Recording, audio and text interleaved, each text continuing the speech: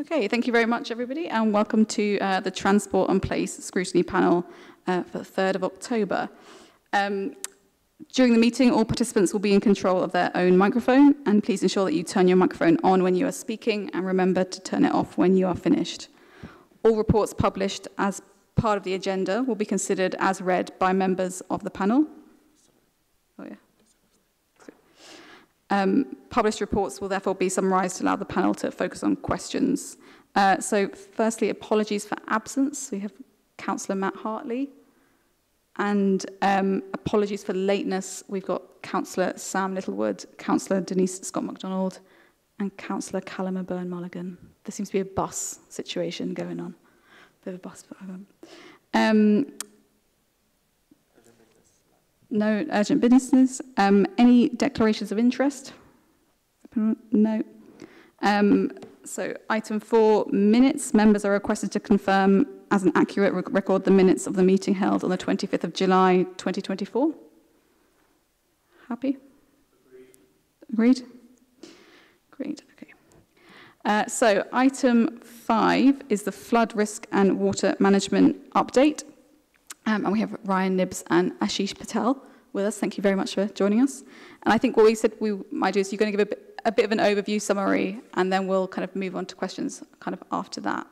Um, but yeah, take it away. Thank you, everyone. Um, my name is Ryan Nibs, Assistant Director of Transport. Um, my colleague Ashish Patel will be um, covering the points that I've not managed to uh, land and answer any questions that anybody has on the panel. So um, the report advises on the current status and future work programme of the Council in relation to flood risk and water management. Uh, we've additionally tried to provide an overview of the statutory responsibilities that we have as a borough um, and as a flood risk management authority um, and the role of partners such as Environment Agency in terms of water, in terms of what they have in um, involvement in flood risk reduction. Um, As a council and transport service, of course, flood risk has been a stable part of what we do as a service. Um, but I must add, over the last couple of years, um, we've been through quite a considerable change, uh, change of personnel, new policy updates. Um, and we're now at a point where we're reorganising the service uh, and enabling us to build some more capacity.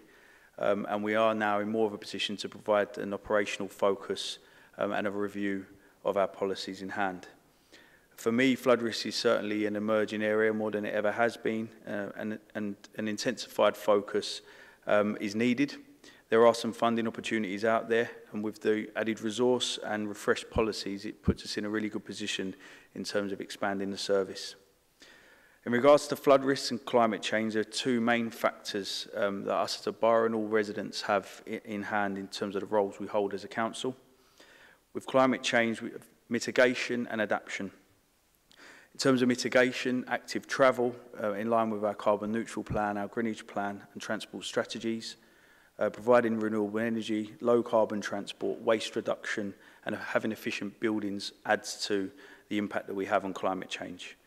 But then in terms of role that we have more so is adaptation, adapting the way we plan for emergencies, what we introduce onto the network in terms of developments and sustainable um, drainage, biodiversity, enabling flood protection, upgrade of infrastructure, and making sure our, our buildings are designed appropriately. In 2020, we received around 80 planning applications where we had to have flood risk input comments. We're now up to 220 annually. In the borough, there are various sources of flood risk. We have tidal, coastal, fluvial, highway flooding, sewer network, and reservoir risks. Greenwich also faces some unique challenges in this space in comparison to some other local authorities, with the Thames Barrier, the Thamesmead area, and with Greenwich having the longest river frontage in London. As the Greenwich lead local authority, we undertake a statutory consultee role, providing technical advice on surface water drainage to local planning authorities, major developments, investigate significant flooding incidents, maintain a register of all flood assets, prepare and maintain a flood risk strategy in the areas coordinating views and activity with other local bodies. And we carry out works to manage flo local flood risks in areas um, and issuing consents and altering and removing and replacing certain structures on the highway. In regards to surface water issues, there are 12 critical drainage areas in this borough, with over 6,000 properties at risk. With urban creep, extensions, paving uh, under overwhelming drainage systems, sewers in historic designed Victorian standards, we are at risk. In regards to fluvial risk and categorisation, main river catchment, the river Ravensbourne, the river Quaggy, Wickham Valley, the Shuttle, Falconwood, Cray catchment area.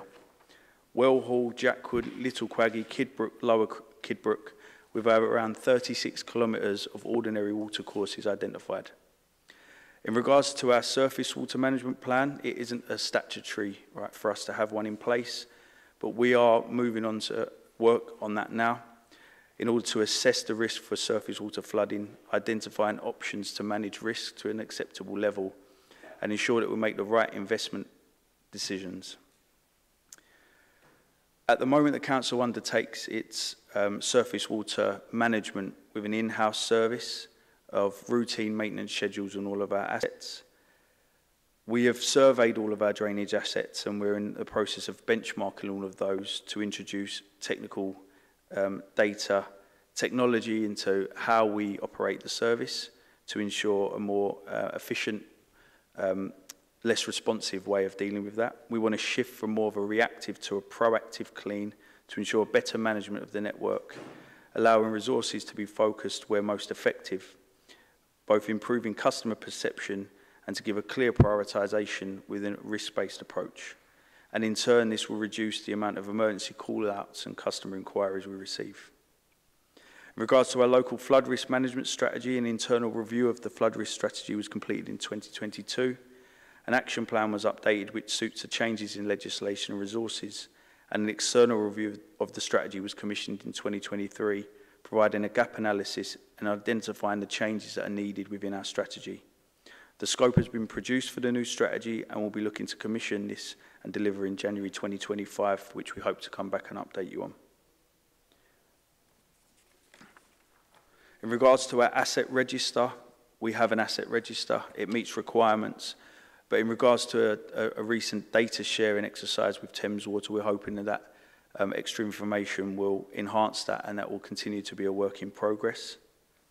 I'll allow um, to take questions soon, but one of the recent changes in terms of the Floodwater Management Act was the introduction of Schedule 3, which uh, put more onerous and task on us as a borough in regards to sustainable drainage activity through planning applications and the like. I think it's clear that there, there is you know, some funding opportunities out there for us. Um, we've, we've got, with the Department of Education, we've, we've been working with them to review schools that are in flood zone which again is something that we'd like to share with you at some point. Um, there's some funding available to assist with flood risk. We've been successful part of the natural flood management program in receiving a million pound um, to progress some work on the Oxleas Wood site, Clothworkers Wood and Bostall Wood in terms of enhancement of um, biodiversity and reducing flood risk in that area. So like I said, it's, it's an area that with our policies and, and the upcoming funding opportunities that we're really going to start um, emerging on. I hope that's given a decent overview for you to start on, and I'm sure you've got questions that we can try and answer. Thank you. Uh, no, thank you very much. And Thank you very much for the um, really detailed report. I think two things that sort of struck me were one of the amount of things you are pursuing in this area, and two, the sort of like leadership role we almost have in this borough just by virtue of our geography, really, of how, and our vulnerabilities. Um, I'll open up to the panel if, if anyone got questions. David. Uh, thank you very much for the uh, report. Um, the, the ward I represent, Peninsula, actually on some maps is marked as a flood risk, but obviously it's protected by the Thames barrier. uh, but most of it is very uh, lie-lowing, together with parts of East Greenwich um, and parts of Charlton Village and Riverside and parts of Woolwich Dockyard. And I just wondered, um, sort of consistent, what the level of flood risk is in those areas to the west of the Thames barrier. We know it's obviously, and, and, and the flood risk is also in the areas east, which is mainly uh, Thamesmead, um, but also a bit of the Woolwich Arsenal um, where obviously a lot of development is, uh, is, is, is, is planned to happen, um, and how confident we are uh, in terms of um, avoiding uh, any major floods from the Thames, uh, either east of the Thames barrier or west of the Thames barrier. That was my, I've got other questions, but that's my first opener. Thank you. So yeah, there's a couple of aspects to that. One is through the planning role. Um, we work closely with the Environment Agency as well, so who are the statutory consultee for main river risk. So um, you're probably aware they will check the heights of the flood, flood walls around there. Um, then our role as lead local flood authority will actually check the drainage that will go in through the river walls. Uh, we make sure that's at Greenfield runoff rates as well. So if there is an event that it's not over, it's not breached, but we have heavy rain that we've got water building at the back, we're encouraging new developments to store that extra water within the parcels of the site. The other aspect is that links into the Thames Estuary 2100 plan as well.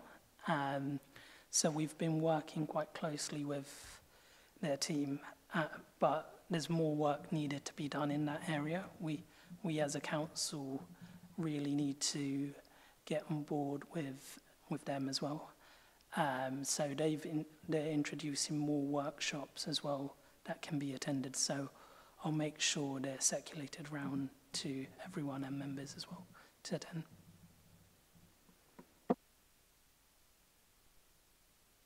Good. Um, so thanks very much for that. Um, I mean, obviously, I, I know the Environment Agency. I've been to meet them uh, down at the Thames Barrier a while ago. Um, but I'm a bit um, concerned, maybe they're you know, short of capacity, a bit concerned that, that they retain these huge car parks down the, by the Thames barrier, all this tarmac, which a lot hardly ever used. Uh, all their people seem to drive rather than get public transport. I'm not sure they're um, pre, you know, I, I don't sure they they don't follow their own advice. and I wondered what discussions we'd had with the uh, Environment Agency so they can be better, more environmentally conscious citizens themselves, and we can green that area, which is just huge car parks, um, down by the down by the Thames Barrier, and, and ensure they uh, use public transport and so forth. But I also wondered, in, in broader terms, um, and I, I see their comments on individual applications, which are normally quite risk averse, but in broader terms, um, what that relationship with the Environment Agency is like, um, and, and how we do work in, in partnership with them. And just to, to follow on from the point about around the Thames Barrier and those massive tar, bits of tarmac around the Thames Barrier, which are totally unnecessary, um, because they were built for when it was a major tourist destination, which it isn't now. Uh, and most people go use active sustainable travel anyway. Um, I wondered, um, in general, over the borough, what proportion of our land is um, soakable, so it's um, you know soft landscaping, grass and so forth, and and given the development pressures, um, how we're going to sustain that and how well we're going to you know can we enhance it at all? So highways is a very good example. A few years ago, we took out the green strip at the centre of the A206 down there in Woolwich and put in concrete or pebbles or something and, and horrible barriers and things like that. Uh, but there's so much opportunity to reduce the width of roads and, in, and increase the amount of soft landscaping and so forth along roads. I mean, I could go on about trees, but we're not here to discuss trees, we're discussing flooding. So I wondered if we've looked at those opportunities to you know, those often marginal opportunities, but opportunities to increase green spaces, particularly in areas of deficiency, uh, and uh, where, you know, clearly that has an impact on the water table and uh, flooding from the heavier rainstorms we're going to get with climate change. Yeah, that's a great suggestion. Um, we're doing a SUDS opportunity map as well, so we're trying to identify opportunities around the borough where we can um, reduce the grey basically and increase the green. Um, but that's essentially what we should be doing as a borough in terms of being on the front foot of flooding, is to look for opportunities where we can remove the tarmac, remove the grey. Basically. Sorry, in terms of our partnership with the EA, it's really strong. Uh, we meet virtually with them once a month, and we have quarterly meetings with them through the Regional Flood and Coastal Committee and the Southeast London Flood Risk Management Partnership. So that's attended by us, um, Lewisham, Bromley, Bexley, and the Environment Agency in Thames Water.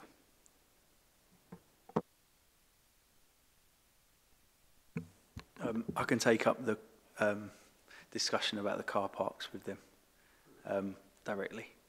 Um, but I'd say it probably doesn't impact or affect her relationship, but um, it's definitely a discussion to be had yet. Thank you. Great, I think I'm. Um, Aidan next, and we'll come back to Sam. We could do workplace uh, parking charges, and that might change it. Anyway, um, what impact? Um, what? How? What are you doing to feed into the development of the new local plan in terms of uh, any sort of SPDs or any uh, involvement in how how that's being shaped? So yeah, we waiting for site allocations to come back. Then we're gonna be developing the SFRA, um, so that will be linked in with the local plan.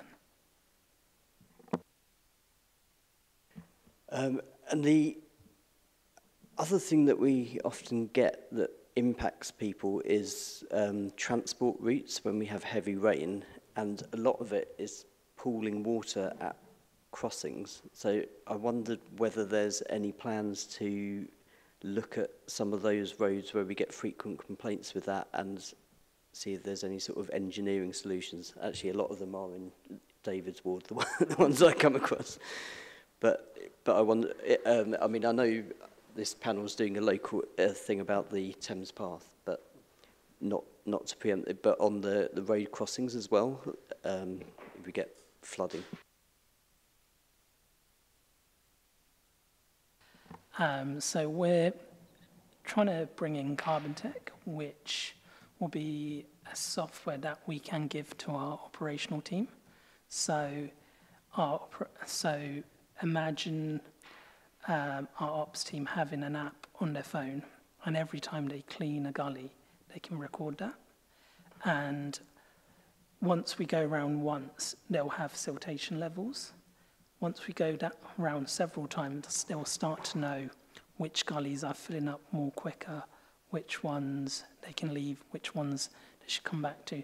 That should help. And we have been recently trying to speed up any remedial works as well um, that need more engineering solutions, like if the pipe has become blocked and we've tried to jet it and it doesn't work, or it could be that historically the gully's just in the wrong location as well. Um, the challenge is um, at what point do we drop in a gully and fix it, and when should we do SUDS? Because yeah, it's we could introduce SUDS, but then we've got to go um, identify the funding um, and commission that. At. So there's a trade-off between engineered solutions and SUDS as well, because we eat into the budget pots to each other. Councillor Dowse? I'm sorry if this isn't appropriate, but I feel I have to take the opportunity to ask. It feels anecdotally like there is a lot more burst water mains. Is that what you're finding? And what is the responsibility of Thames Water to get the roads back to the state they were in before? Because there seems to be flooding a lot in certain areas and the roads never quite get back to the way they were. So um, if it's a burst water main, we can request that funding back from them because through a burst water main, they've got full responsibility of all assets that have been damaged. Sorry, I just wanted to come in. Yeah, I mean, I am aware that typically some of our at-risk areas are around the Castlewood Reservoir, Well Hall. I know we've had some instances in Footscray Road as well, which will all feed in. And the closer you get to the reservoir, the bigger the risk. Um, and we've had some water shortages in there. Um, we met with Thames Water last year and they tried to provide us with some reassurance about infrastructure upgrades. And I think it'd probably be useful. We've got some slides ourselves that we've prepared, not for today, because there's 55 of them, but to share and maybe get some more reassurance from Thames Water as well. They have full responsibility of making sure that everything's reinstated back up to the standard that it was, or even better, because obviously if it's an old surface, um, in some cases, as part of the New Roads and Street Works Act, they have six months where an interim um, material could be used until a permanent replacement has been has been made. So in some cases they have that um, in place, and it may look as though it's degrading, um, but that's what the legislation says. But if there's any particular locations that you're aware of, we can look into. Um, No, it has been particularly Footscray Road that Okay. is, it's not my ward, but it's next door. Um, and has caused quite a lot of trouble, although I think the road's back to normal now, but has been quite persistent. yeah, thank you. Just going to jump in there. I just recall we had been dealing with, is it Roots for Life Centre? So we have identified a developer actually capped off one of the drains there. So we're trying to get the developer to uncap it. So hopefully that should help a lot in terms of resolving those issues. Thank you. Councillor Littlewood. Thank you. So, um, first of all, apologies for missing the first half of the presentation, but actually what you've just said leads quite nicely onto this question. Um, we've talked a lot about public bodies here and, and Thames Water. Um, presumably to implement lots of these flood plans, you need the cooperation of local businesses, local people and so on. Um, I know you can, there are enforcement actions, there's you know, um, information requests and so on.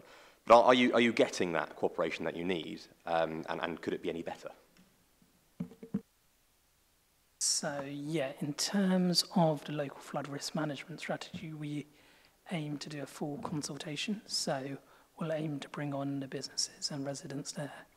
We did do Section 19s recently as well, um, around Plumstead Road, um, White, Hart Avenue, uh, King's Ground as well. And we actually posted letters through uh, doors as well. Um, fortunately, we didn't get as high turnout as we wanted, so we got two residents uh, email us back. But yeah, we, we are getting people on board and we are working with friends of Oxleas as well and friends of Bostall as well.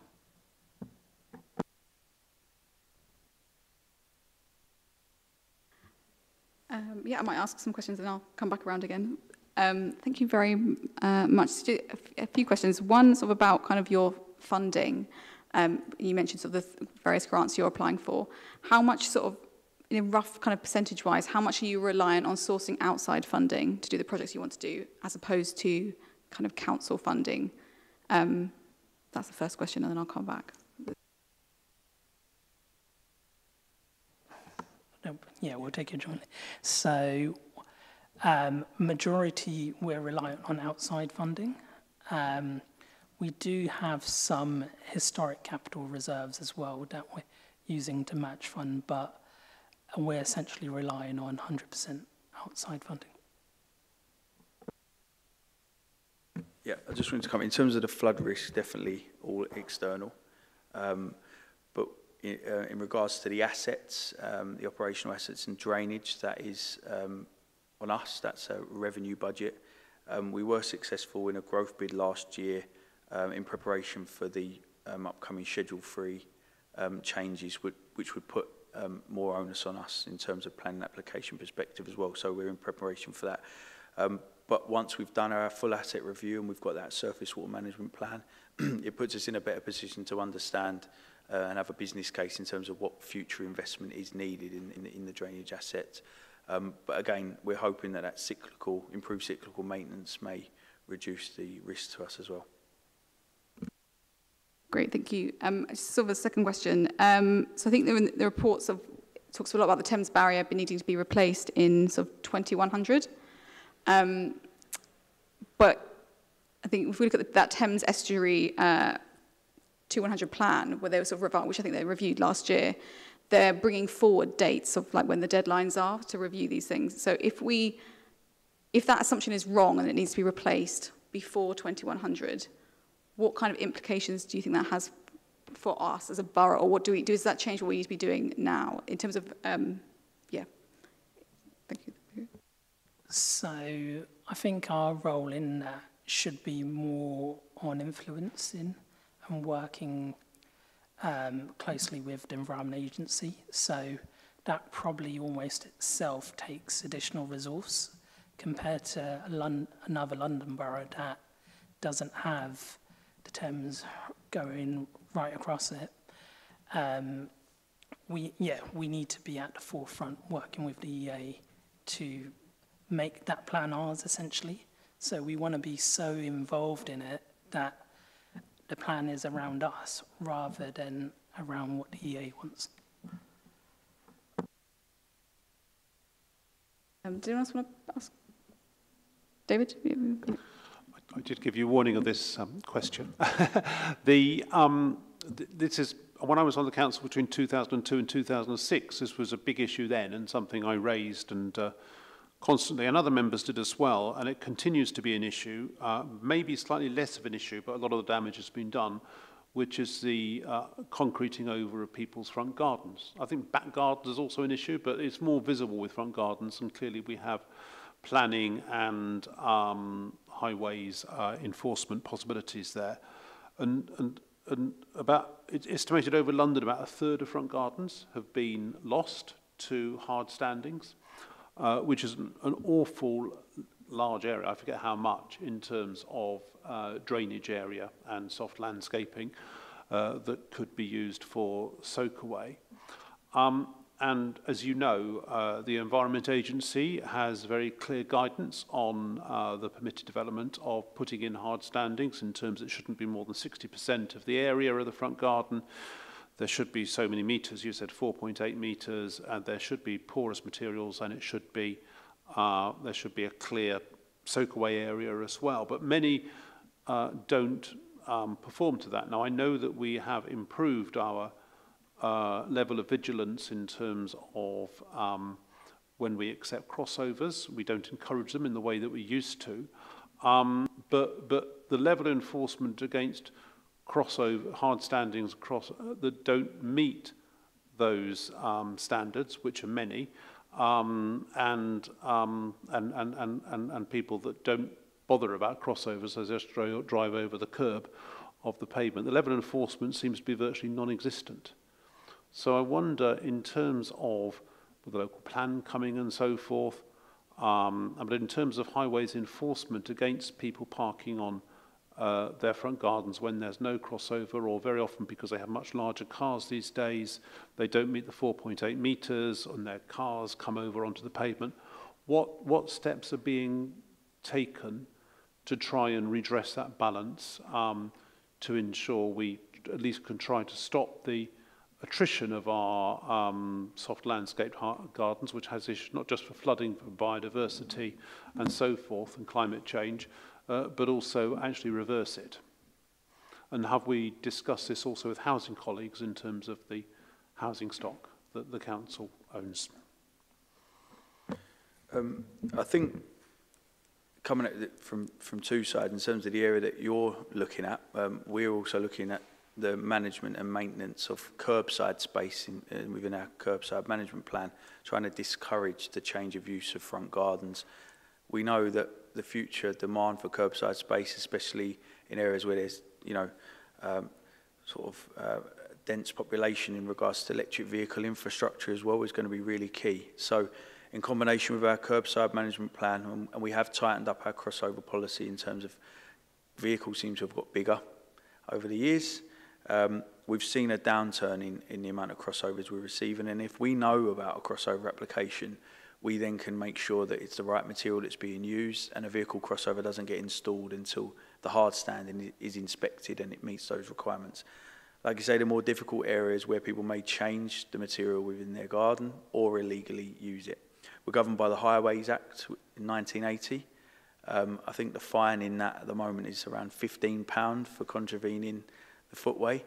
Um, and there's quite little enforcement powers that we do have, although, you know, in most cases we try to deal with the residents directly, um, post letters, and we use the highways inspection team to do that.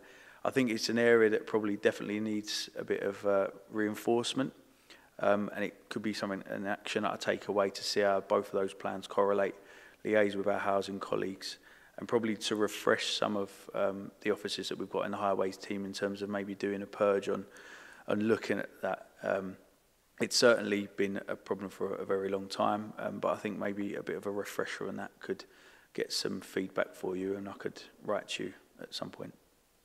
Thank you. Um, Councillor Scott McDonald. Um, hi, thank you. Um, you may not have the answer yet on this, so I'm fine if you don't have it today. So um, on page 26, and it's talking about the risk management authorities, and it's just more clarification.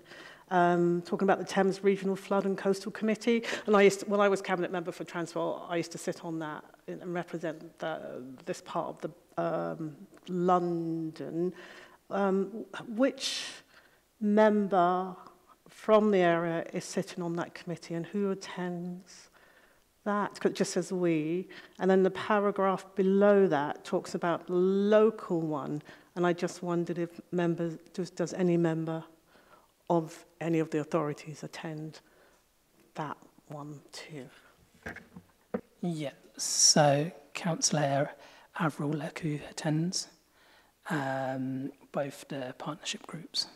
So the Regional Flood and Coastal Committee, then we're all, a tiny bit of our catchments in the southern as well, so that's represented by Bexley. Yep.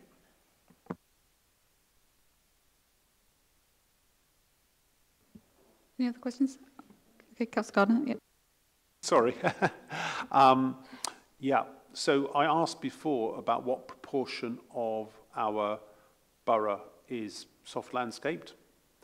Uh, but to take that more broadly, It'd be useful to know, it may be that Vicky knows, um, what proportion is soft landscaped. Um, and clearly that's quite generous compared to many boroughs, which is a good thing. Um, but also what targets, in terms of our flood strategy, what targets do we have? Um, what what are, are they in terms of, you know, in terms of clean drains, in terms of flood relief and so forth, um, in terms of response to emergencies? Do we have benchmark? Do we have standards and targets um, that we um, aspire to and measure ourselves against? And that those presumably shared targets with the Environment Agency. Yeah, so our targets are around uh, protecting properties. So um, we work closely to submit bids for funding that where we've identified an area that they're at risk from a one in 100 year event. If we can bring that risk down to a one in 20 or, yeah, or fully protect them, then we'll, we'll do that. That's where we aim to um, work with the EA to reduce the risk.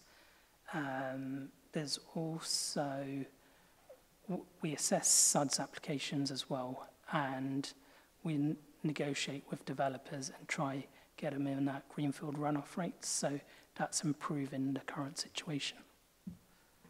But that's not actually setting an overall strategic target. So I wonder what targets, if any, we have and how they're measured.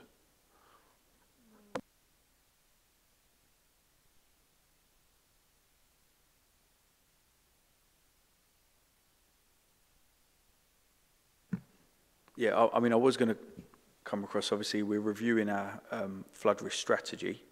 We do have actions in it, not to hand now, but I think, you know, similar way that we've got the transport strategy and all of the framework action plans, what's been useful for us is to set out clear objectives and actions for us to be able to track and trace. Um, so haven't got them to hand, but there are some in the existing one, but of course it is up for refresh. So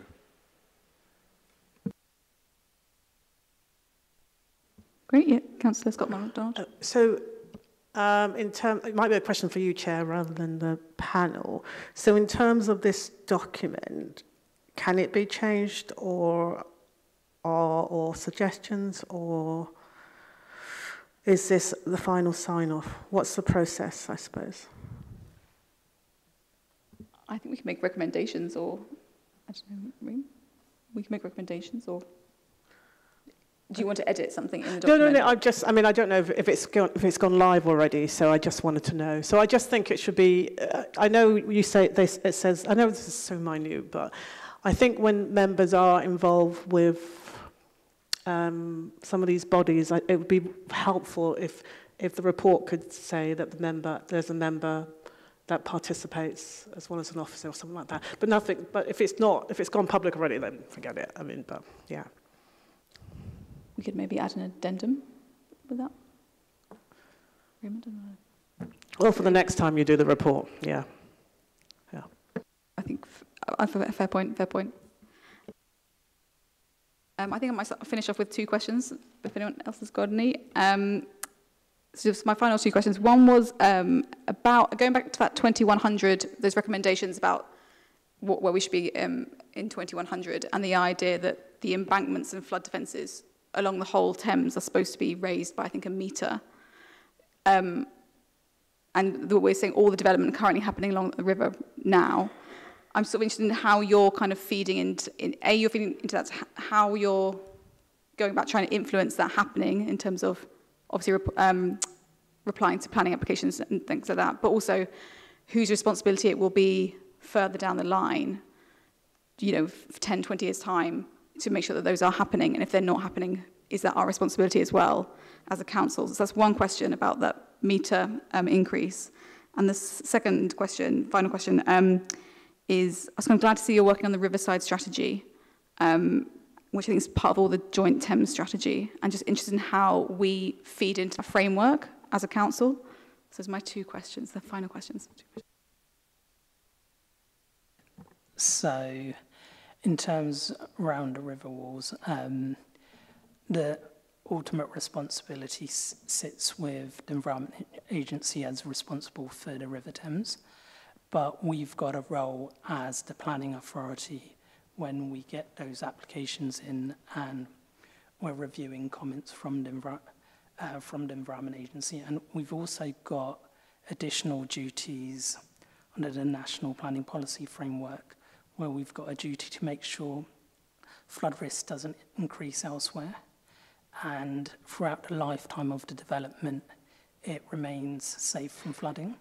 So from as, that aspect, when we do, um, when we do re- request the river walls to be heightened, we need to be uh, mindful of the heights that are required, basically, and we we are doing that basically, um, and the EA plays a key role in that. Um, in moving on to your second question, um, we've started feeding in with the Riverside strategies as well. So um, through the Thames um, RFCC, um, approximately, I think it was 1.2 million um, that's been uh, made available. Just trying to think if it's UCL that are involved with the strategy as well, because there's a group of authorities in London that need a riverside strategy, so we're inputting into that strategy as a collective. I can probably provide more details after the meeting as well. Thanks very much. Um. I don't know if anyone, and I've, I've noted a few recommendations or down, but um, if anyone wanted to add anything. I think I was just going to suggest um, one would be great to uh, if you could circulate the workshops you mentioned earlier. Um, two was uh, if yeah, if we could follow up um, Ryan with the Environment Agency about the car parks uh, on the Thames barrier. Um, and targets for landscaping, and also to note who sits on panels. And also, um, I was going to recommend that we bring flood risk back yearly to this panel, because it should actually be coming more regularly than it is. So as an item, that it comes back more on a more regular basis. I don't know if anyone wants to add anything to that. No? Okay. Thank you very much. Thank you very much.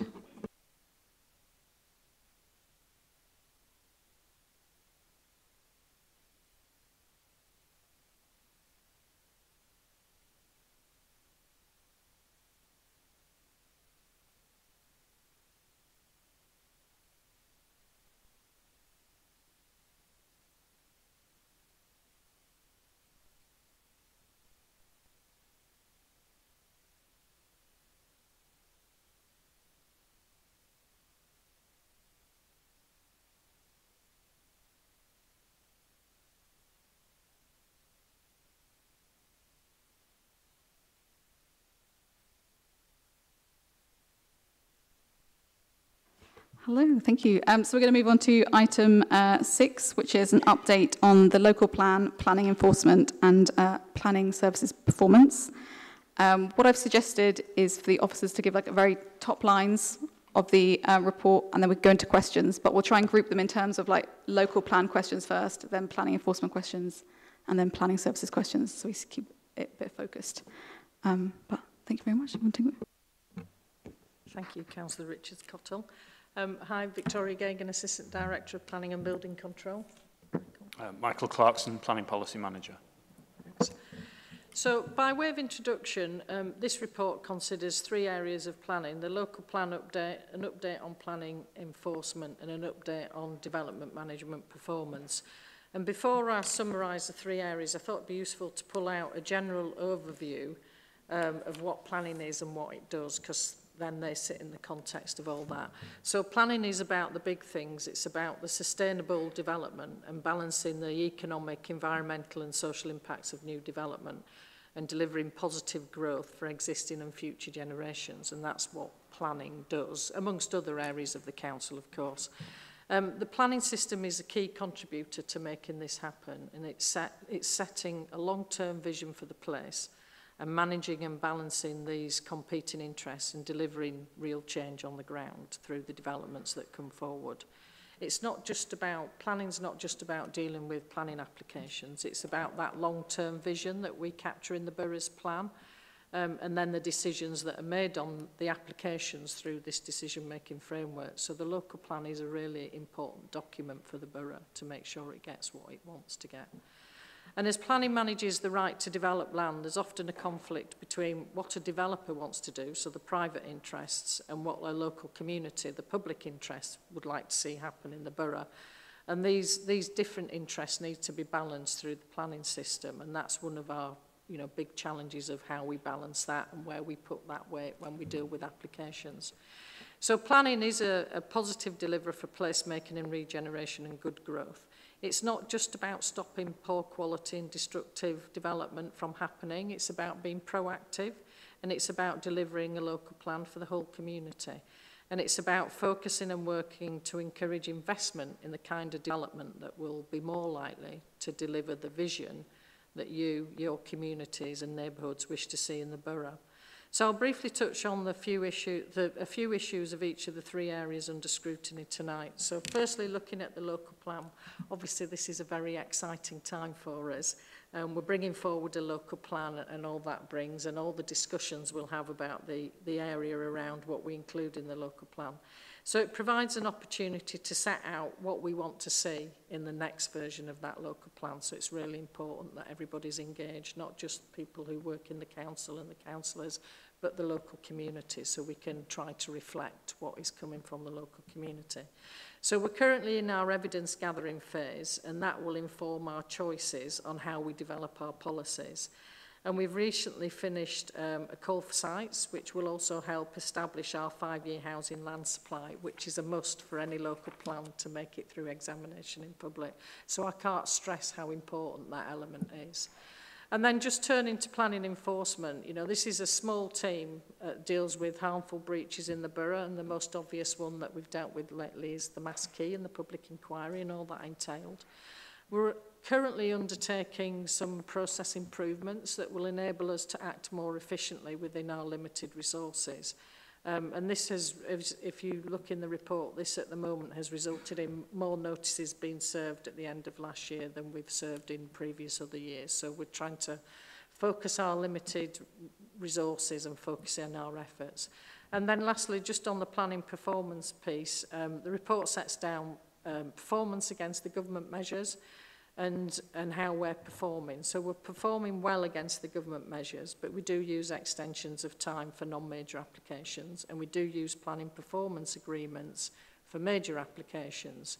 And we often use these sometimes to deal with the capacity issue, um, but also where we accept amendments to a scheme and for our major applications where it sets a more realistic time frame than the 13 weeks that's set down by government.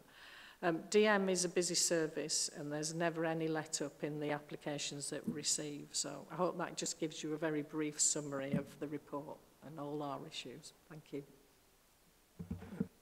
Brilliant. Uh, so open up for questions. We sort of maybe stick to the questions about the local plan first, if anyone wants to come in. Councillor Gardner. Well, thank you. I was um, fortunate enough to be on a small group convened by um, the then cabinet member um, on uh, different aspects of the local plan, which you were both uh, within the meetings, and that was very constructive. Um, I don't know whether that now has come to an end or whether we'll be uh, reconvened at some stage, what the new cabinet member uh, has in mind. Um, but um, but the, the, the process does seem to have slowed down, and I'm very conscious that um, the last time it, it happened, it was a tighter timetable back in 2013-14, Um, and, um, you know, things could be overtaken by events and so forth.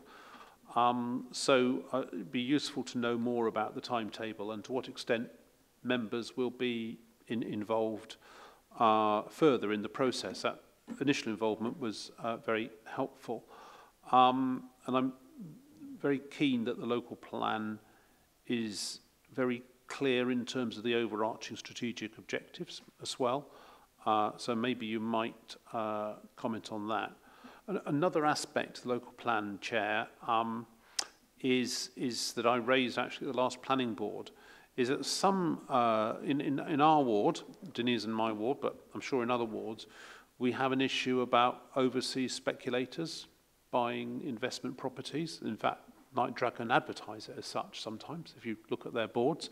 Um, and uh, properties, many properties being empty or just used as Airbnb or short-term lets and so forth, are not at all meeting the housing need that we have uh, in the borough. Now, some London boroughs like Islington and Camden, I think, have quite good policies and come to arrangements and put down conditions. But I was told um, when I raised this at the last planning board on a particular application uh, that we we couldn't do that. So we're at the mercy of each developer because we don't have a policy basis uh, to do it. Is that something that we've looked at in terms of the current local plan so we can ensure that um, the, the houses that, that are being developed or, or flats being developed, they're not just um, uh, the large, we don't lose a large proportion just to uh, over, you know, short-term lets and overseas investors and so forth. Uh, thank you. Um, firstly, in terms of the process of the local plan and the workers' members group, um, clearly I'll have to speak to the new cabinet lead, but that did work very effectively, I think, and I think it would be something that we would like to carry on because it was a good forum for um, discussing um, and getting some views of members. And I think at the moment we're having a pause from the working group as we go through the evidence gathering. And I think um, Michael and I can have a discussion about when it would be appropriate, when we have the pieces of evidence back, to run through those with the working group again. So you get a flavour of what's coming out in terms of the employment land review, the local housing market assessment, our open space study and all the other bits of evidence that we're going to. So, so we can do that. Um, in terms of um, overseas speculation, in terms of buying to let or buying to leave, as Islington called their SPD. Um, I worked in Islington that when that SPD was brought forward. Um, we don't have any policy at the moment for that, and it's something we can look at in terms of our local plan. We would need to have evidence that there is a problem with people buying flats to leave rather than buying flats to rent. Um, but that's something that we can explore as part of the local plan. In terms of Airbnb and the rental market for tourists, um, London has this unique position where people are allowed to do that for a 90-day period every year. As you can imagine, that's an enforcement nightmare to understand how long somebody has rented out their property for an Airbnb. Um, so it is really difficult to say to somebody, well, we know you've tipped over the 90 days. Um, so it is difficult within London to enforce that. Um, but I think in terms of the buy to leave issue, we can look at that as part of the local plan policy. I think I covered everything, Councillor Gardner. Any other questions on the lo- kind of local plan? Eric? Yeah, Ben Mulligan.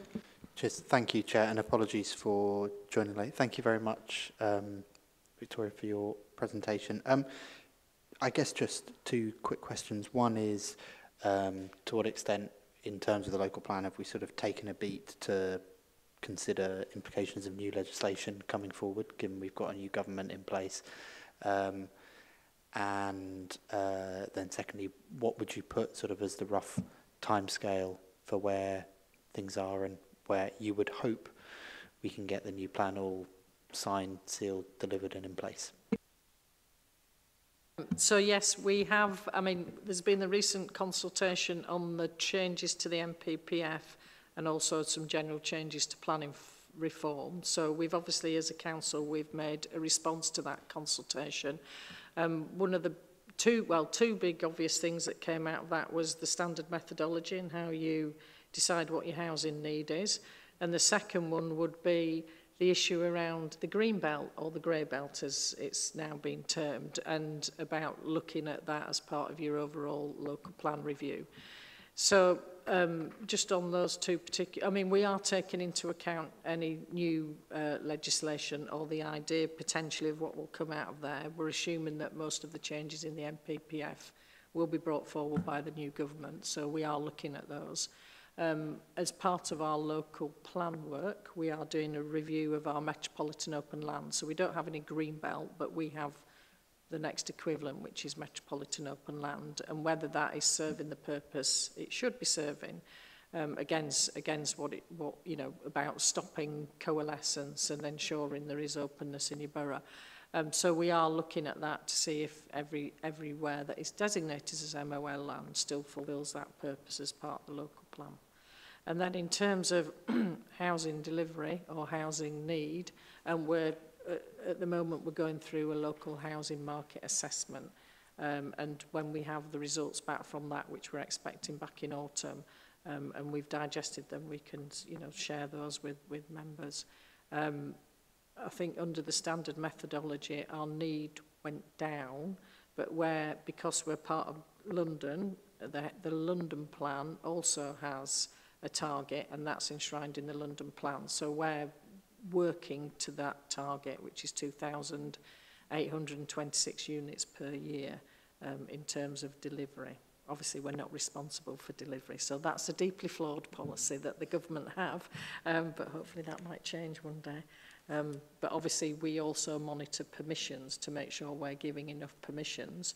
And we also monitor as part of the local plan, we have to demonstrate that we have a five-year housing land supply. So we've got enough land. It's not just land that's available, it's the where, where that land is in terms of is it in pre-app, does it have planning permission, is it implemented, and when are those units likely to come forward to fulfil that five-year housing land supply? Great. Councillor Scott MacDonald. Um, thanks. Um, I have a question about your issues and options consultation that took place last year. Um, and I don't know if you, I mean, I'm new to this committee, so maybe you've already done some feedback in reference to it. And it says here there's 303 responses.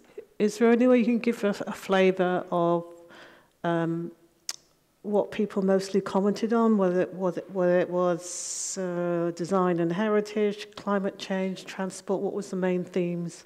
I know you, there were five themes, I think, big themes, but what were most people talking about? And any idea where they lived, if you can? Um, you may not now. I just want to know if they're all from SE10. uh, from memory, um, I believe the, the strongest topics that people gave responses on were around housing and climate change. Um, and I think Design and Heritage got the lowest number of responses. Um, I can get the figures um, after the meeting and share. Um, in terms of where people were commenting from, I think most of them um, were done via the Commonplace platform, so that is anonymized. So we don't we know if they are local residents, but we don't know whereabouts in the borough they're from. But we also got um, responses from um, the development industry, statutory bodies, uh, and other, other, other um, a couple from um, neighbouring boroughs as well. Um, so there's quite a mix of, of respondents.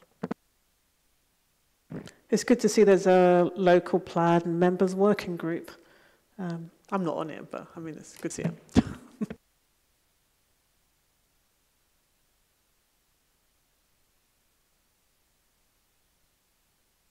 Can I just come back in? I think, um, Councillor O'Byrne Mulligan, you mentioned about when we'd have a draft local plan, so I forgot to answer that one.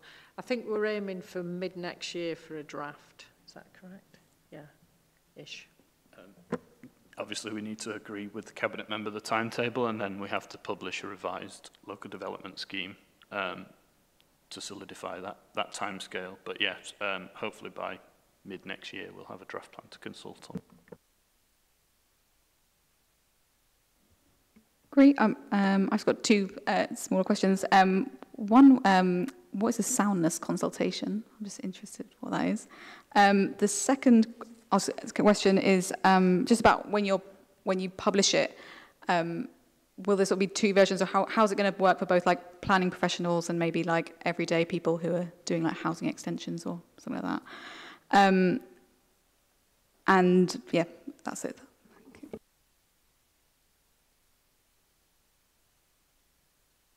So the issue of soundness um, is laid out in the National Planning Policy Framework. So there are four tests of soundness that the plan will be examined against when it's um, submitted to the planning inspectorate. So independent inspector will review all the policies in the plan and review everyone's comments from the consultation and um, he or she will decide whether the plan is sound as well as legally compliant. Um, so I believe it's testing me in terms of my memory of the tests of soundness, but um, the plan has to be positively prepared. So that means we can't write policies in, negative, in a negative way that suggests we want to stop things happening, so they have to be written positively. Um, it has to be justified, so based on evidence, which is why we're doing this evidence gathering process. Uh, policies need to be effective, um, so they should be able to be implemented and delivered. Um, and finally, they need to be in conformity with the National Planning Policy Framework. And we also have the additional test in London of being in conformity with the London Plan. Um, and the second question, yeah, I think uh, we will work with our community engagement team and communications team to, to consider what options we have in terms of um, the consultation materials, because, yeah, the plan can be dense and technical, so we need to work out if we can explain that in a bit more in, in layman's terms, so to speak, um, so, so it can engage kind of um, people who aren't that into planning. Yeah, and I think the way the plan's structured, it will be strategic high-level policies that will look at those sort of big topics like housing, climate change, and then you'll have your area-based policies, which feeds in from the site allocations, and then you'll have your local and technical policies. So I think for sort of householders, it'd be more the local and technical policies, but it, they sit within that wider framework of everything we have to consider. Sorry, just going back to soundness. The reason we have to have a consultation is we have to ask those questions of, of consultees if the plan is sound. So people may object to particular policies and say it doesn't meet one of the tests, and then the inspector's job is to analyse whether that's the case or not. And whether the council's made a reasonable case that its policies are sound. So that's uh, laid down in the regulations that we have to have a consultation specifically directed at those questions. Great, thank you very much. Um, should we open up to any questions about planning enforcement? If anyone wanted to come in on planning enforcement, yeah, Councillor Smith. Thank you, Chair. Um, on the figures uh, that you give for, you say that performance dipped from 2020 to 21-22. Um, but what I, I couldn't really work out what they would have been before. So is that is that that the it, sorry, this is appeals. Sorry, I'm asking about appeals, uh, not planning enforcement. Sorry. So, so, say that. Anyone want to, Councillor Little, Littlewood? Thank you. Um, so there's, there's a whole range of types of enforcement that the council can take for you know, all, all manner of reasons. And they're, they're rightly done on a, case-by-case basis. But if I look at you know, key enforcement, for example, so um, you know, phase two, so the developer there is well, going through a process at the moment uh, for, for um, planning reasons. But just next door, there's Mast Quay Phase 2, which has a fire enforcement um, against it for cladding. And there's another building in Woolwich Town Centre that also has um, cladding problems in a fire enforcement order uh, owned by the same developer. So you can draw your own conclusions about the behavior of that developer, but can enforcement teams work together to try and get a better or quicker outcome? Can they change that behavior by working together? Um, so I'm not sure whether it would change the behaviour of some people, but we do work together. So we use our planning enforcement powers when that's the most expedient way to work. Otherwise, the Council has collected all of its enforcement powers together in this integrated enforcement umbrella. So they, that meets regularly and it discusses cases. And, and uh, as I understand it, is when there's a case, it, there will be a discussion about who has the most effective enforcement powers. So if it's fly tipping, then it would fall under um, a different different service to say planning enforcement. For us to deal with fly tipping, we would have to go through a much more long-winded procedure than just being able to find somebody, for example. So we do, we do, we do collect our powers together and use them. Um, who's got the who's got the most effective powers to deal with whatever the issue is, and integrated enforcement meets. I think it meets once a week, and then there are branches of it that look at specific um, topics.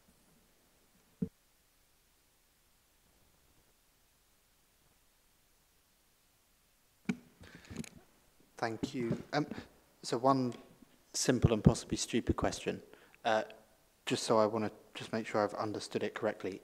The number of people in the enforcement team, is it seven posts but six people in place or six posts but five people in place? Because I just wasn't quite sure from how it was worded uh, in the report.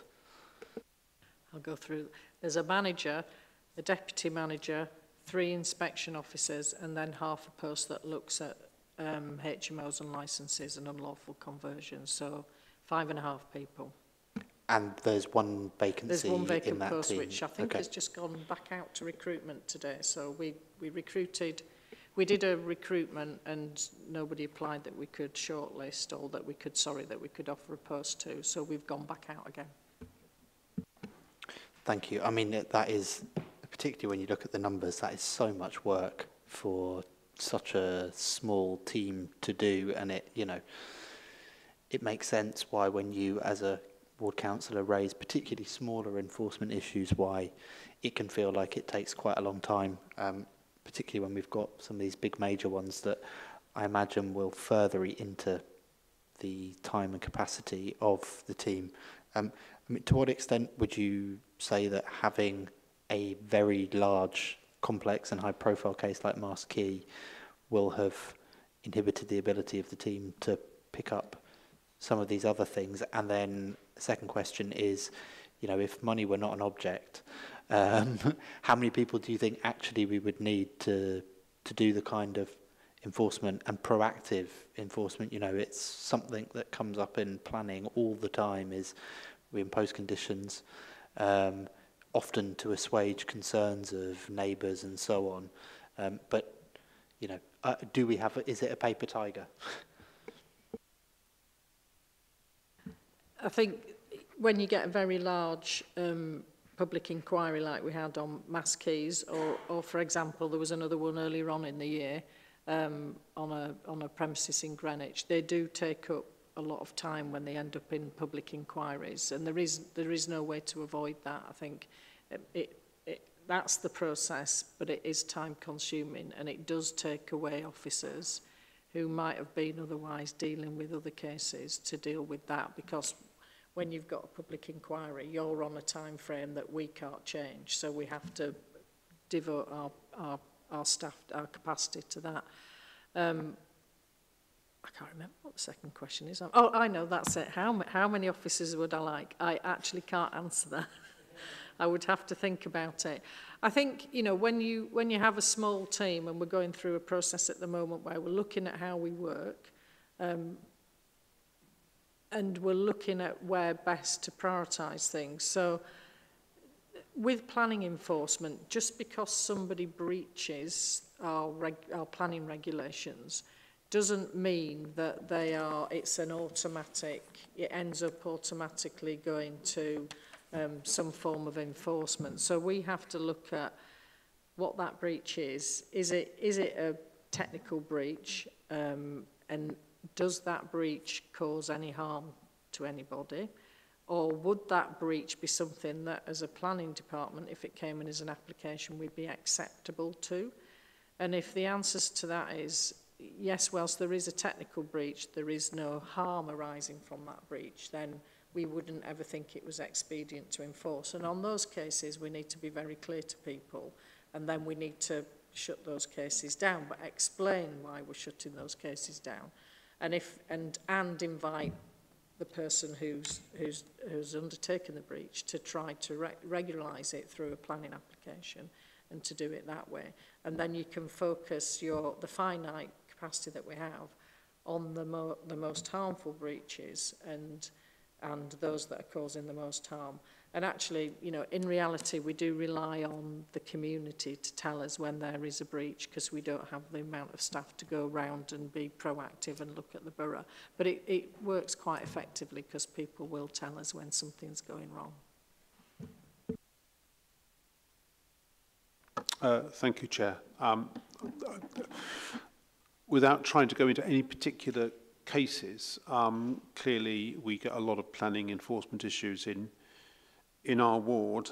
Um, and I remember back in 2004, we doubled the size of planning enforcement team from three to six. So I wondered what the substantive team is now.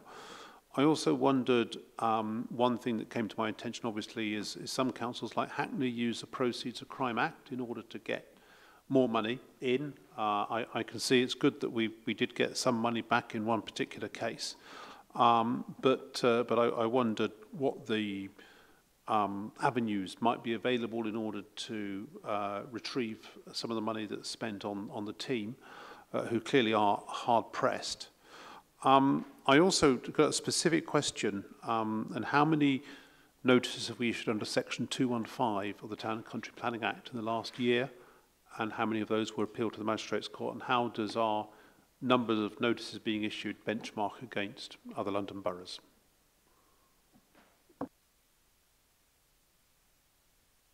So there's five and a half in the team, five and a half posts in the team, one is vacant out to recruitment now.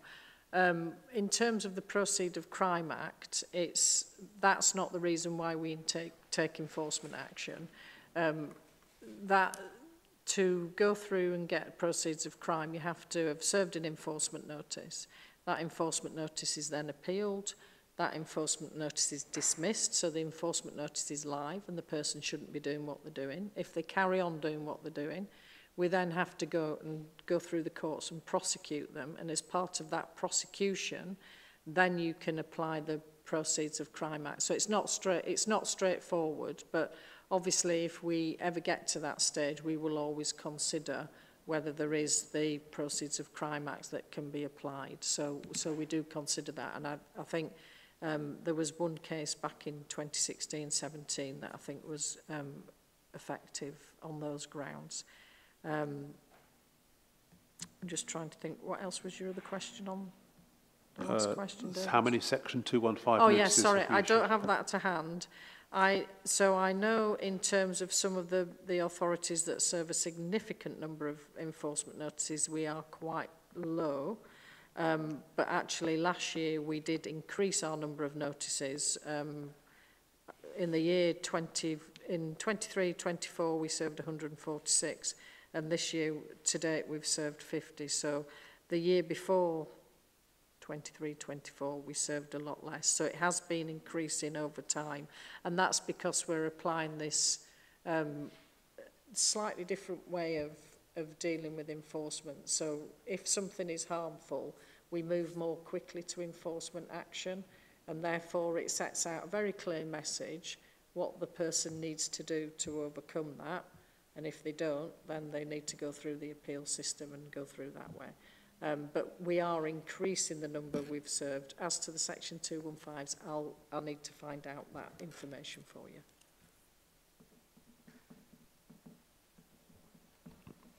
Great. Um, I uh, just had two questions myself on the planning enforcement. Um, one was um, how we're making sure sort of staff are um, sort of supported or protected if they're kind of maybe going into slightly hostile situations um, with enforcement.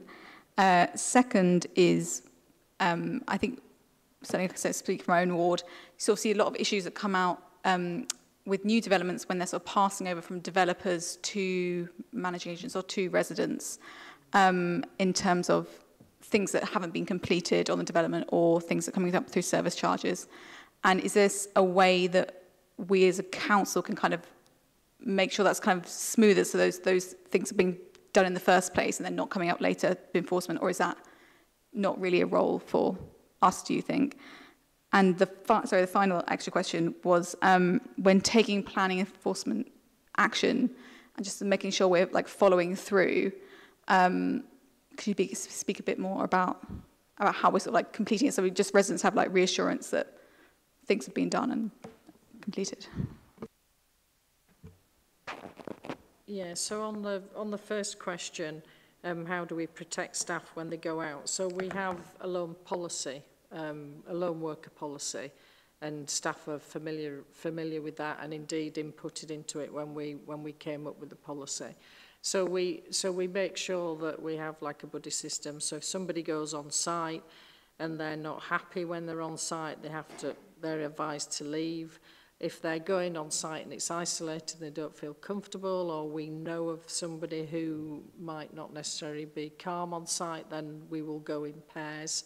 Um, and so we have we have measures in place and people shouldn't finish on site at the end of the day without informing the manager so we know that they've clocked off for the day that they're safe. So we have a number of, of ways in place to protect staff um, when they're on site doing the enforcement action.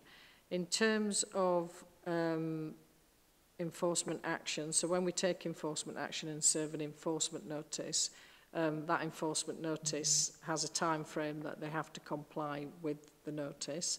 So we would diarise that and we would go and check. And if they haven't complied, then we can consider prosecution and then we can carry on taking it through that direction. Or if they've complied, we would make sure that the people who originally complained are made aware that it's all complied and it's shut down and, and that's the end of the matter.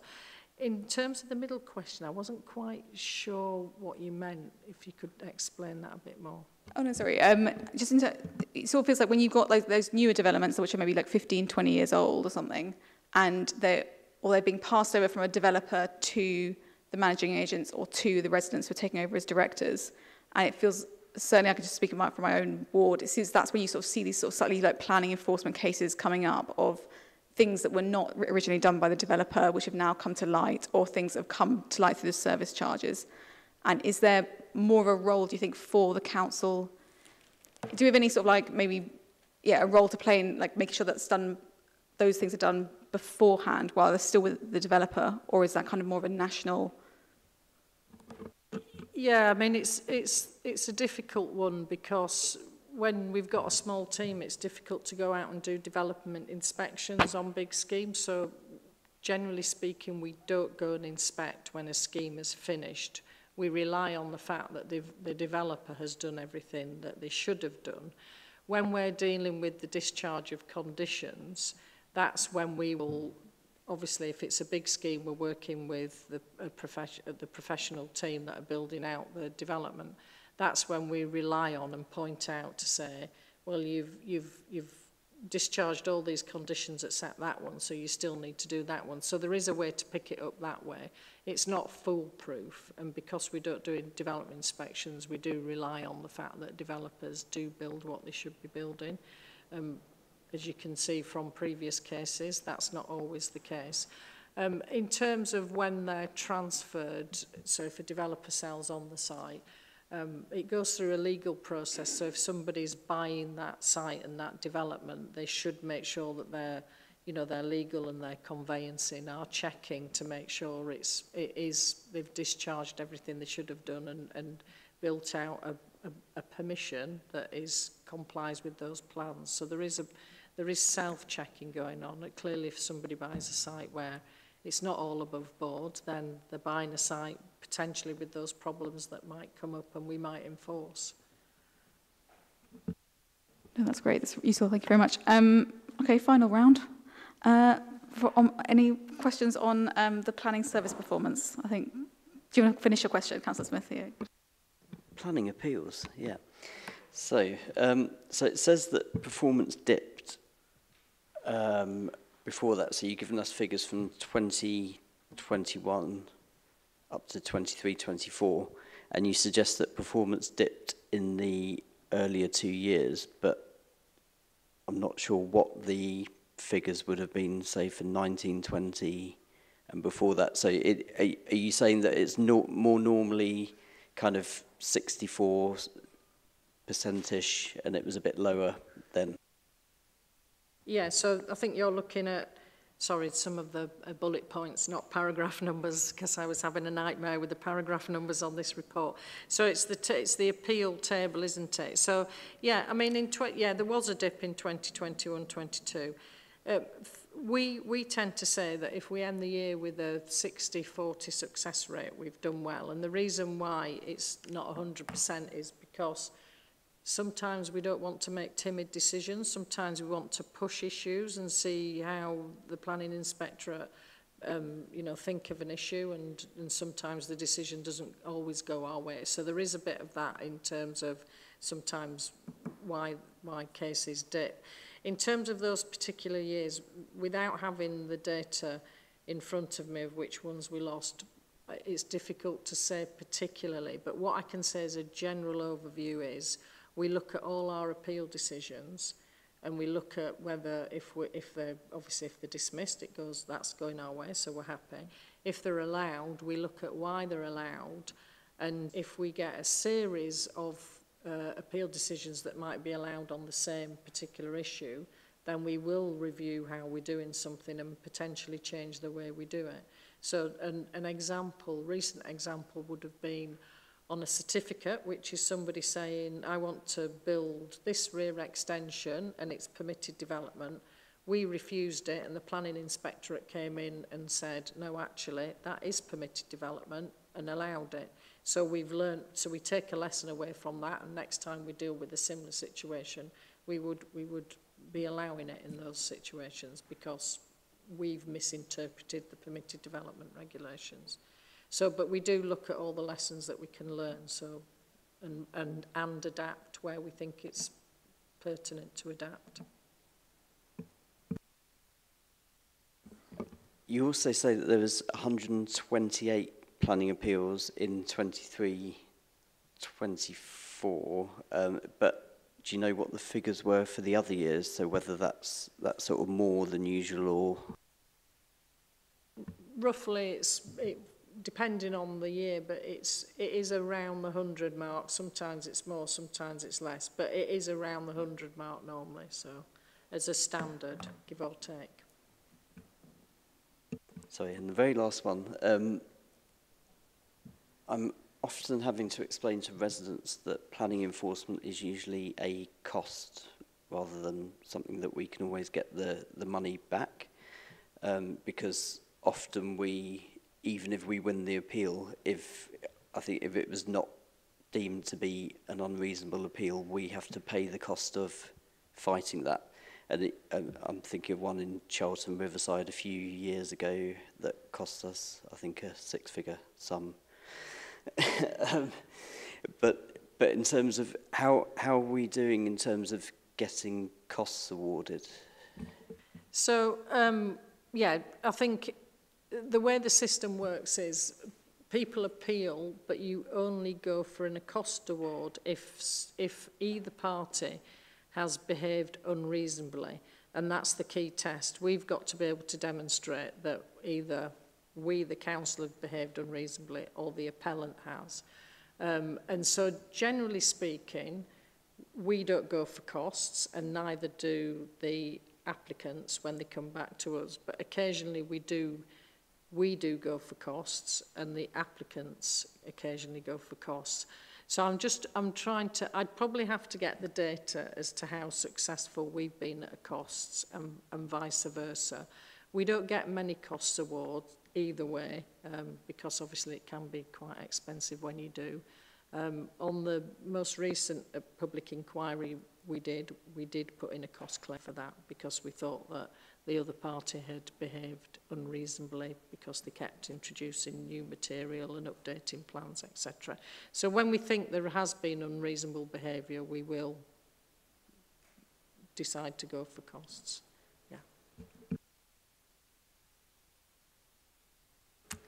Any other questions? Councillor Gardner.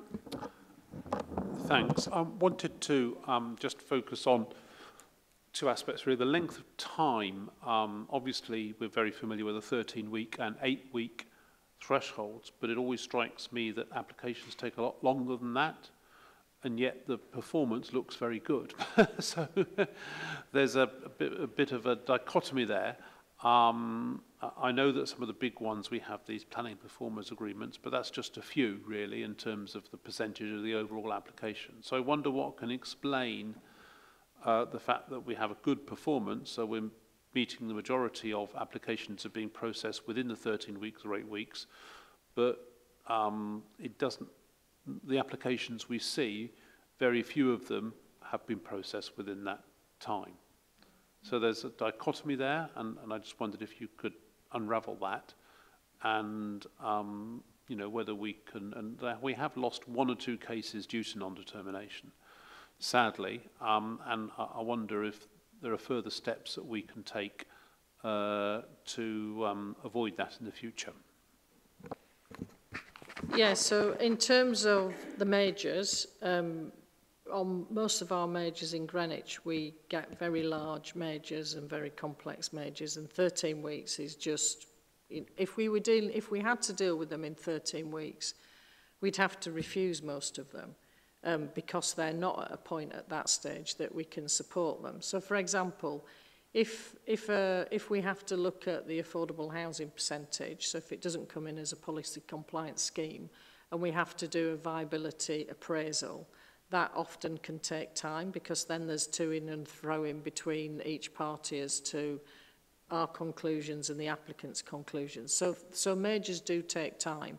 And that's why um, it says 100%, that's 100% with planning performance agreements. Um, and that's because we, you know, they're important applications that we want to um, negotiate to make sure we can get to a point where we can support the scheme and bring forward a development in the borough. So we do work with applicants and applicants are happy to work in that way. Um, I think going down a system of a really strict time frame that would lead to an appeal system and lead to more appeals and more costs just wouldn't be favourable for any of us, I think, and we'd probably end up in far more public inquiries, and they are very costly. So that's on the majors. On the non-majors, I would say, from my recollection, roughly a third rely on extensions of time.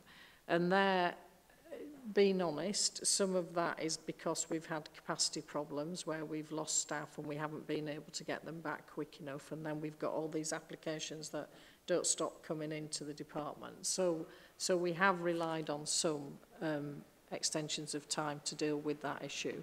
We have brought the backlog significantly down for non-majors. So now I think we're, there are roughly 60, 70 cases that are over eight weeks that we're still dealing with. Um, in terms of um, committee cases, they tend to be all over the eight-week period just because of the running time to get a case to committee. So if you sit on a local committee or planning board, then it's likely that those cases are over the eight-week period. But as we're working together with those applicants, they tend to agree hmm. extensions of time, and hence some of the figures you might think are higher. Having said that, not all, all of our applications go over eight weeks, Councillor Gardner. So we, we do try, and, and, you know, offices have been working tremendously hard over the last year, um, as, as Councillor Smith will know from his, you know, cabinet one-to-ones, to bring down that backlog, to make sure people get certainty when they put an application in, get certainty within that eight weeks, If we think that something can be amended, we have allowed them to go over eight weeks and then dealt with them by an extension of time. So what we're doing at the moment is we're trying to wean ourselves off the use of extensions of time, in particular because six months ago the government um, had a consultation on whether they would get rid of extensions of time. I don't know what the new government will think and how they expect that to play out, but we'll wait to see what happens. So we're trying to wean ourselves off, be more efficient and deal with them more efficiently. That in itself can annoy people because when they get the decision at, at eight weeks, if it's a refusal, they'll go, well, why didn't you let me revise it? Well, well, we're trying to be efficient. If we let you revise it, we're just creating more backlog. We do in some cases, but not in all. Just um, follow on with a question about capacity, which obviously has been a London-wide issue. Um, and I wondered to what extent you feel that we've turned the corner and to what extent we're working with the professional bodies uh, like um, the TCPA and so forth, and universities um, that train people um, on apprenticeships and uh, retention schemes and sponsorships for qualifications and so forth. Um, and obviously with, with other boroughs in the same uh, situation. And also perhaps comment on that, but also comment on another feature, obviously, is, um, is, is, is that, like, you know, like my sister who's qualified, that, that people go into the private sector because they pay more um, and, and whether we're paying the right rate. And whether we paid more, we would therefore be more effective um, and have to spend less on interims and short-term uh, employments and so forth. So we have just been out to recruitment for the non-majors team, so the East and West team.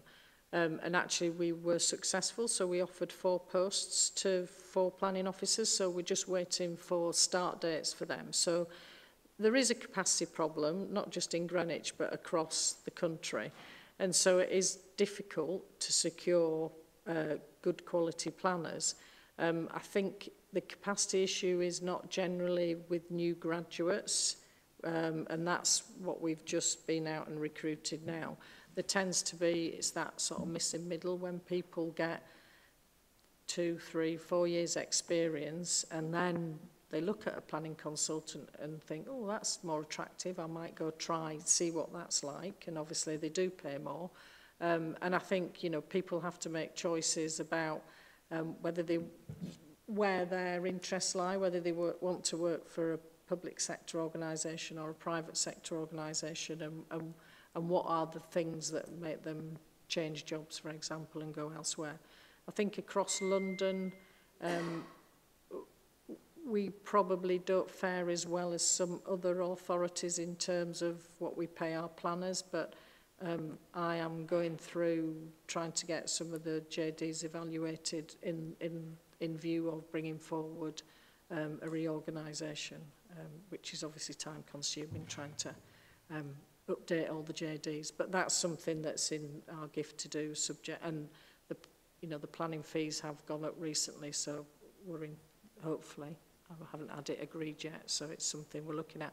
Also, what we we have done in the past, and we've got a student now, we have a year out student placement, and we've taken, so a couple of years ago we took two um, from the University of Newcastle. This year we've got one from the University of Newcastle. Um, and there are also other measures we can use, such as the pathway to planning, which is a central government thing. So if we didn't have the year-out student, we would have probably looked at that. Um, and also there is the public practice where if you need some specialisms, you can apply to see if they've got any that they can give you. Obviously, you have to pay for those. So we're, we're doing the best we can. Um, and I've been to a series of meetings run by um, Business London looking at that same issue along with developers about what can be done. And, the, and actually just on that point, um, the Majors team is uh, almost entirely funded by planning performance agreements. So without that source of income, it, we wouldn't have as many offices dealing with major applications. Any other questions from the panel? No. Um, I just had uh, one or two la last ones. Um, just with the um, the backlog on the majors, is that mainly fresh applications, or is that also a mix of amendments and um, land that's kind of coming back, kind of with new proposals? So, what, what's it sort of made up of? Yeah, so on the majors backlog, that's mainly made up of submission of details. I would probably say entirely made up of submission of details because the actual applications are in a timed programme, so they're not counted in that backlog. And part of that is um, getting responses from external bodies, um, but also some of them were historic, so we are going through them all um, in terms of dealing with the older ones. Um, some of them, it's where we're in a, a, an implementation PPA with the developer, so we do let those go over because we're working with them to try and get them so we can approve them. So it's just a different way of working, but it does does create a, a large backlog, but they are entirely submissions of details. Um, and we are, we are going through them, trying to get rid of them. Um, and then the only uh, um, other one was just um, in sort of, I mean, just sort of like small situations where, particularly maybe with minors, where you've got people going to like pre-app consultation and sort of being given one advice and then maybe having a different outcome further down the line. Is there anything we can be doing to sort of, re- re- sort of reduce that discrepancy between them? Yeah, so if that happens, we will we will review it. So if we're if somebody comes in for a formal pre-app and we're giving them advice, and as long as the application they submit reflects that advice, then they should be getting certainty about the decision they're going to get. Um, sometimes they don't always reflect the advice they've got, so they might put something in slightly different, which means they might get a different decision than they were expecting. Um, but when, it, when that is, you know, because clearly when somebody gets a refusal and they're expecting approval, they will, they will approach us and we will look at that and make sure that we haven't said one thing and then done another thing. So we, we, do, we do review those. Great, thank you very much. Um, any other questions? No? I, I made a few notes of recommendations that people mentioned. Uh, one was on uh, policy and the buy to leave kind of to be explored. Um, and section 215s, and but of the TCPA. Um, any other recommendations anyone wants to put forward at the moment? You can email another time, other than just more money, more resources, more capacity, all of the above. Um, thank you very much, uh, Victoria and Michael. Thank you very much. Yeah. Before, uh, be- before you go, I just think also we should record, um, it's obviously our job to scrutinise you and, and, and, and pick at the edges, but um, we should record that we're very, um, well I am, I'm sure everyone else is very thankful for the huge amount of dedication and work, professional work that you do.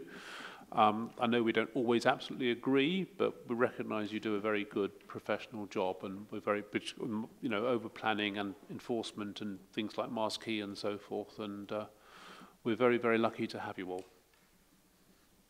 Yeah, definitely. Pass that back to officers.